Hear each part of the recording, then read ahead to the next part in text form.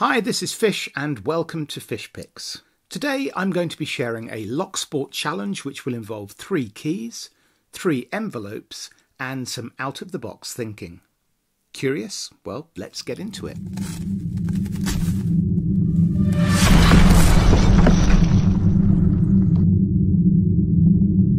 So here's the situation. We have three keys here, all with the same profile, but with different bitting, and we have three sets of corresponding key pins.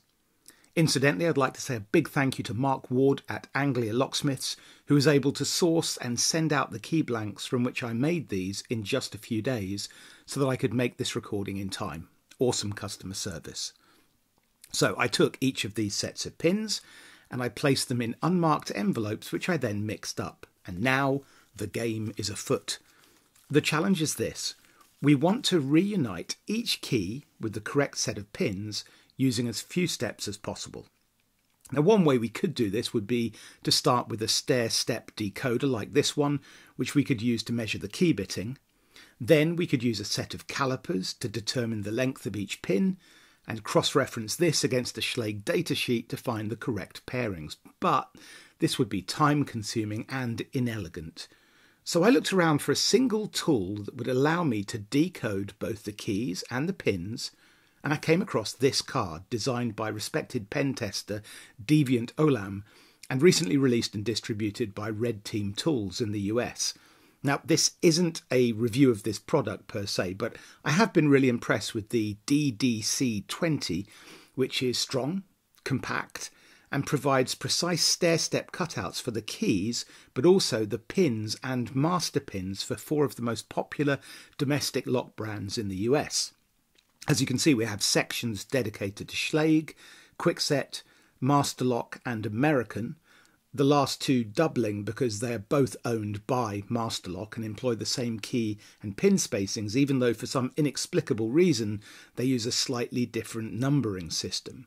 So, for example, a number two pin for master lock translates to a three pin American model.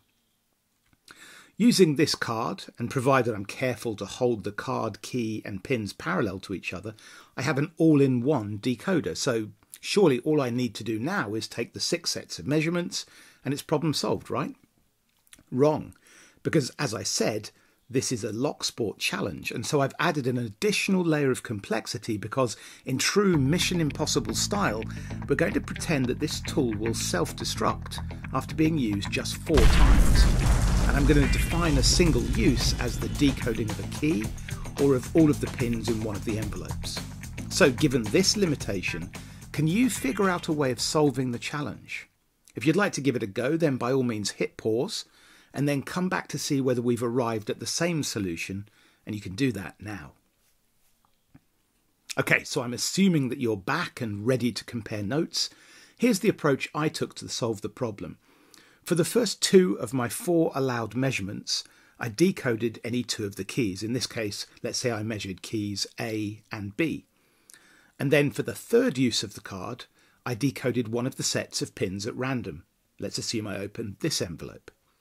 Well, if you did the same thing, you'd find yourself facing one of two scenarios. Either the pins would match one of the two decoded keys, or they wouldn't. If they did, great, you can just pair them and move on to the final stage. If, however, they didn't, then by a process of elimination, you would know that they must belong with the key that's not been measured, and you'd still arrive at the first part of the solution. So, for the final stage, you just need to decode one of the remaining sets of pins. If we follow scenario 1 through, it would look like this. In stage 1 and 2, you found a pairing and would have the bitting code for a second key. This new set of pin measurements would either match that key to form a second pairing, the third key and remaining envelope being automatically resolved at the same time, or, if they did not match, you could assume those pins belonged with the unmeasured key and you'd still have your answer.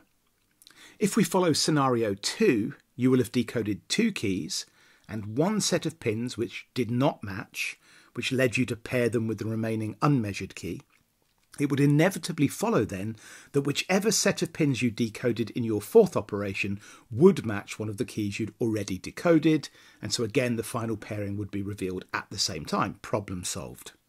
I've racked my brain to see if it's possible to carve away that fourth step and come up with a three phase solution, but if there is one, I've been unable to find it so far. If you can see something I've missed, then by all means enlighten me in the comments section.